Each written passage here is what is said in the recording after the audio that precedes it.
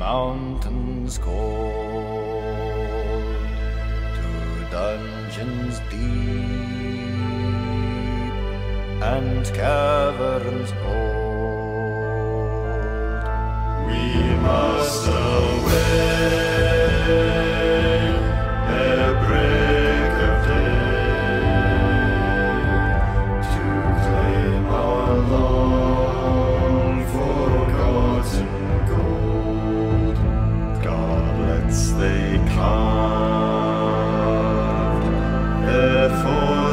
themselves and harps of gold where no man doubts. There lay they lie